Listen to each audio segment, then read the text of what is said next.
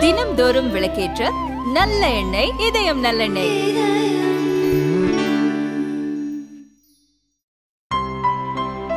இனிமே கண்ணை மூடிட்டு கடலை எண்ணெய் வாங்கலாம். ஏன்னா மந்த்ரா கடலை எண்ணெய் இதயத்தின் தயாரிப்பு.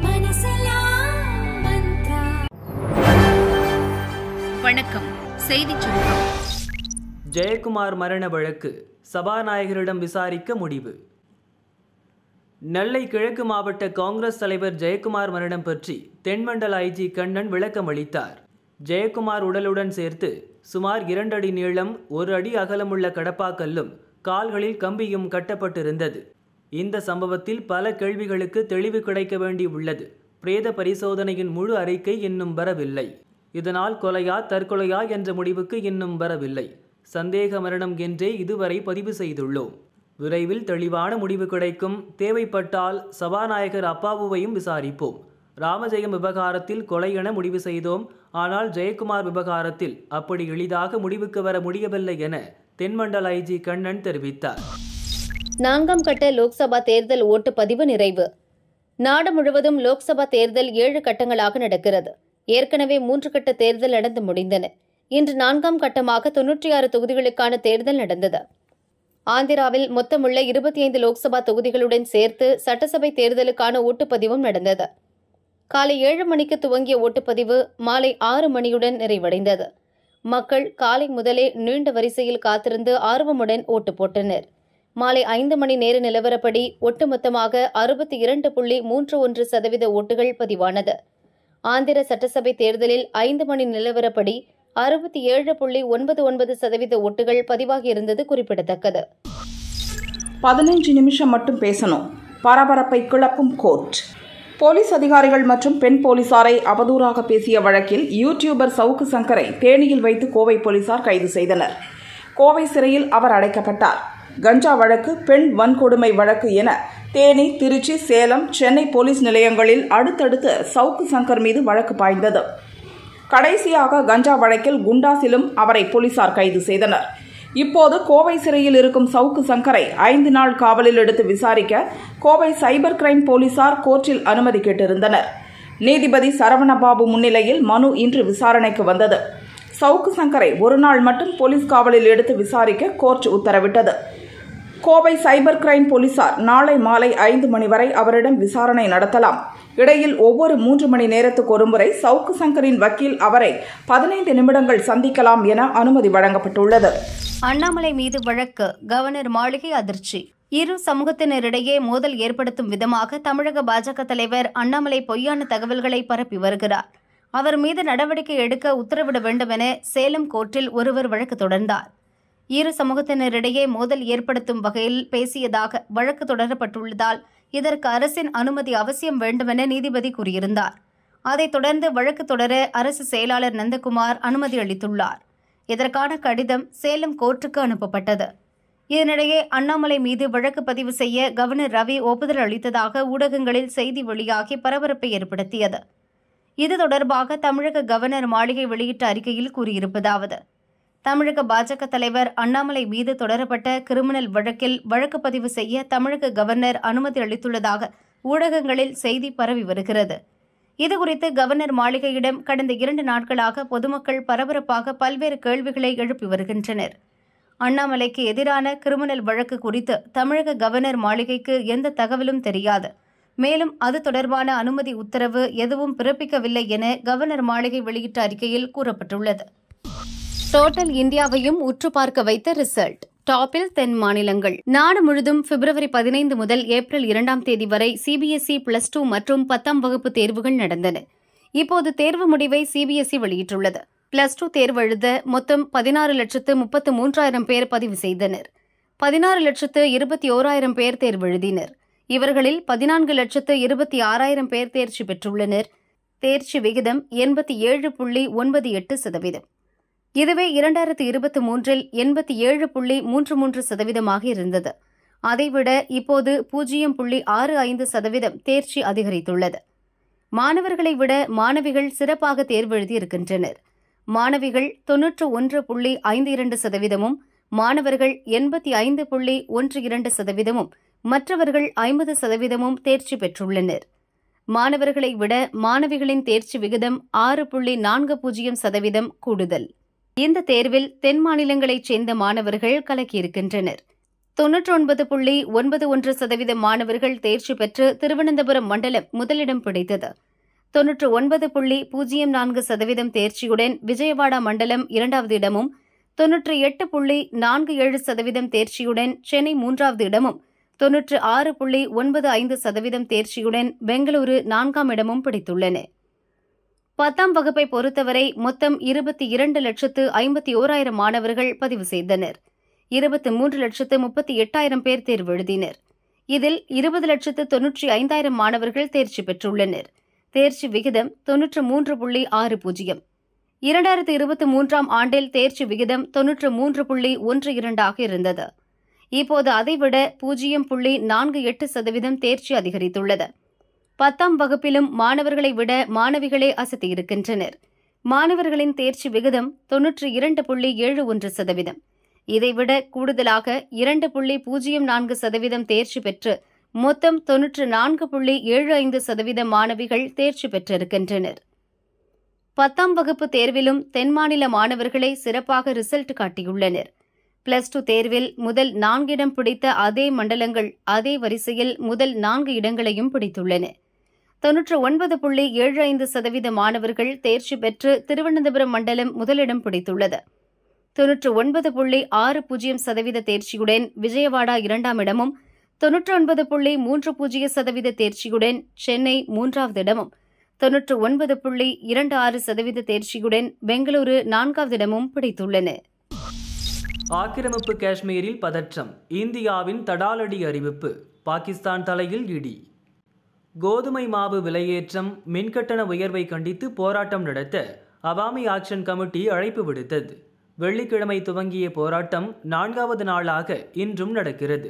இதுவரை மக்கள் போலீஸ் என நூறு பேர் காயமடைந்துள்ளனர்.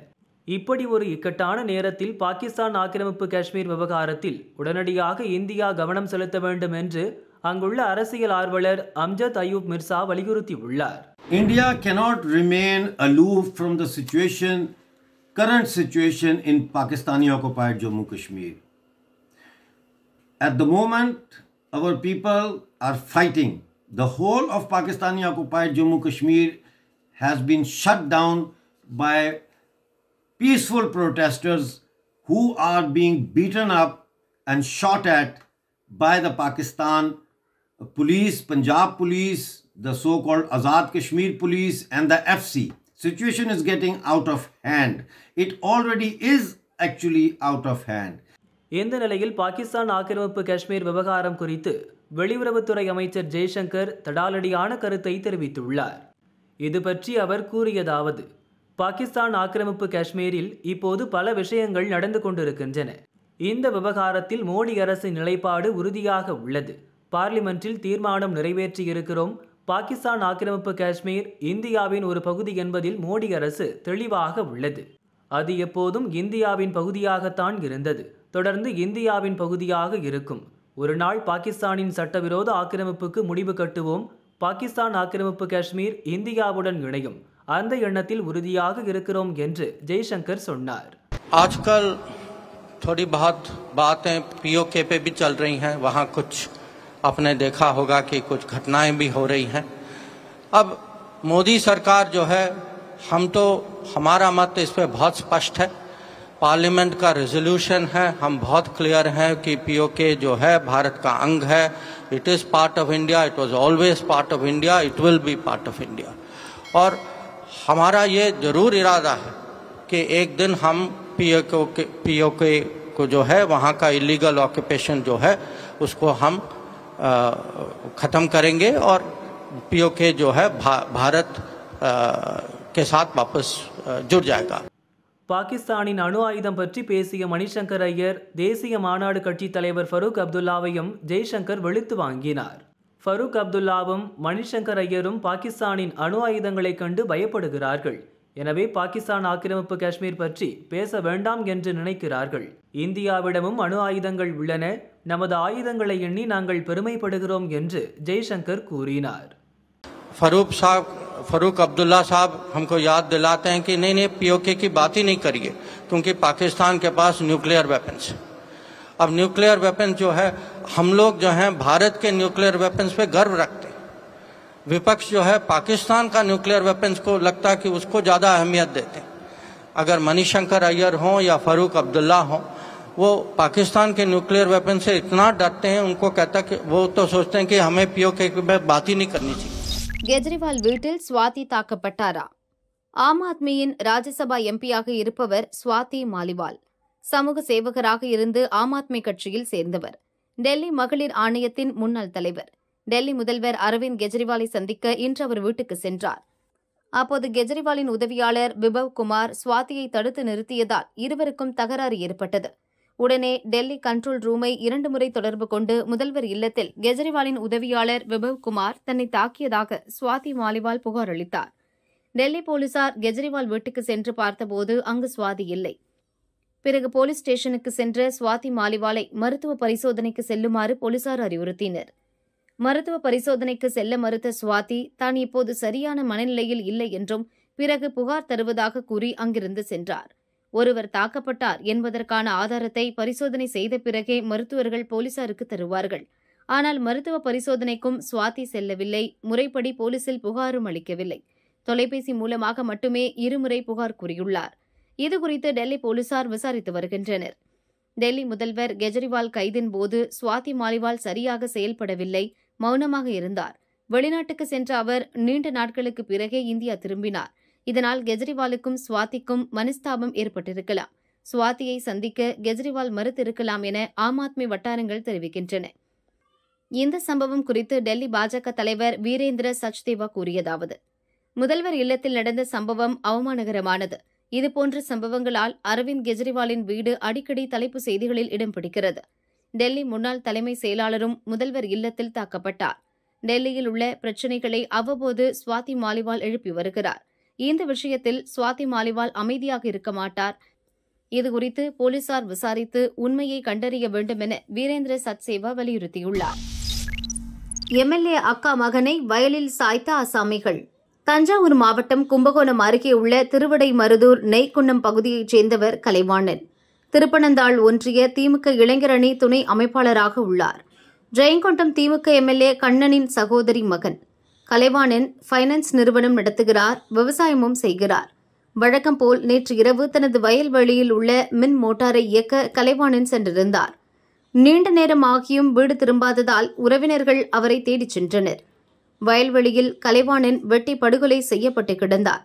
இதை பார்த்து கதறி அழுத குடும்பத்தினர் பந்தநல்லூர் போலீசாருக்கு தகவல் கொடுத்தனர். பந்தநல்லூர் போலீசார் கலைவாணன் உடலை மீட்டு பிரேத பரிசோதனைக்காக கும்பகோணம் அரசு மருத்துவமனைக்கு அனுப்பி வைத்தனர். கலைவாணனை கொலை செய்த மர்ம நபர்களை போலீசார் தேடி வருகின்றனர். கலைவாணனின் வீட்டின் அருகே பொருத்தப்பட்டுள்ள சிசிடிவி கேமராக்கள் உடைக்கப்பட்டிருந்தன. இதனால் கலைவாணன் திட்டமிட்டு கொலை செய்யப்பட்டிருக்கலாம் என போலீசார் கூறினர். சில மாதங்களுக்கு முன் கலைவாணன் வீட்டிலிருந்த வைக்கோல் போரை மர்ம நபர்கள் சிலர் தீ வைத்து எரித்தனர். சுவற்றில் தொடரும் என எழுதிவிட்டு சென்றனர். இது தொடர்பாக பலமுறை போலீசில் புகார் கொடுத்தும் உரிய நடவடிக்கை எடுக்கப்படவில்லை என கூறப்படுகிறது. சில நாட்களுக்கு முன்பு கூட அவரது வீட்டில் உயிரா பொருளா என பேப்பரில் யாரோ எழுதி வீசிவிட்டு சென்றிருக்கின்றனர். போலீசார் உரிய நடவடிக்கை எடுக்காததே இந்த கொலைக்கு காரணம் என உறவினர்கள் குற்றம் சாட்டினர். கலைவாணனுக்கு முன் விரோதிகள் யார் யார் என்பது குறித்து குடும்பத்தினரிடம் போலீசார் விசாரிக்கின்றனர். தூக்கி வைக்க முடியும்னா தூக்கி எறியவும் முடியும். தெலுங்கானா உத்தரப்பிரதேசம் ஆந்திரா உட்பட ஒன்பது மாநிலங்கள் மற்றும் ஜம்மு காஷ்மீரில் உள்ள தொன்னூற்றி ஆறு தொகுதிகளில் நான்காவது கட்ட லோக்சபா தேர்தல் இன்று நடந்தது. ஐதராபாத்தில் குடும்பத்தினருடன் வந்து ஜனநாயக கடமை ஆற்றினார் பேட்மிண்டன் வீராங்கனை ஜுவாலா குட்டா அதன் பிறகு அவர் கூறுகையில் ஓட்டு நம் உரிமை மட்டுமல்ல நம் கடமையும் கூட என்றார் உங்களை ஆட்சி கட்டிலில் தூக்கி வைக்கவும் எங்களால் முடியும் நீங்கள் மக்களுக்கு நல்லது செய்ய தவறினால் உங்களை கீழே இறக்கவும் எங்களால் முடியும் என்பதுதான் இன்றைய தினம் ஆட்சியாளர்களுக்கு நாம் சொல்லக்கூடிய மெசேஜ் என அதிரடியாக கூறினார் ஜுவாலா குட்டா எந்த வேலையாக இருந்தாலும் ஒரு மணி நேரம் செலவழித்து அனைவரும் ஓட்டு போட வேண்டும் எனவும் அவர் வேண்டுகோள் விடுத்தார் I think this is the minimum we can do. Uh, take out a uh, take out. I think one day, one uh, hour in a day, go vote uh, I think only then we can actually exercise. This is our right, you know, it's a fundamental right.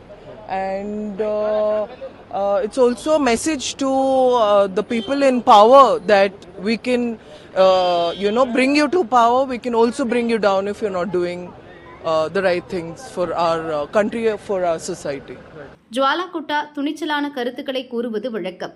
அந்த வகையில்தான் தேர்தல் பற்றிய அவரது கருத்து பார்க்கப்படுகிறது. ஜுவாலா குட்டா எச்சரிக்கை விடுத்தது மத்தியில் இருக்கும் ஆட்சிக்கா மாநிலத்தில் இருக்கும் ஆட்சிக்கா என தெலுங்கானாவில் பரபரப்பாக பேசப்படுகிறது.